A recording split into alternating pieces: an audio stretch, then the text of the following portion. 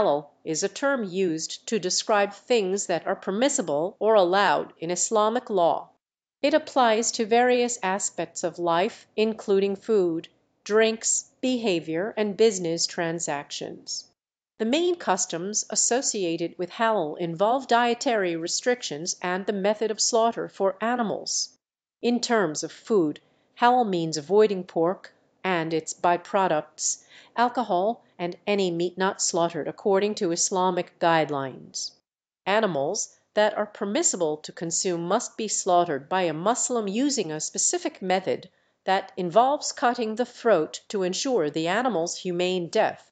Additionally, avoiding any form of dishonesty, bribery, and unethical behavior in business transactions is also part of practicing Hal.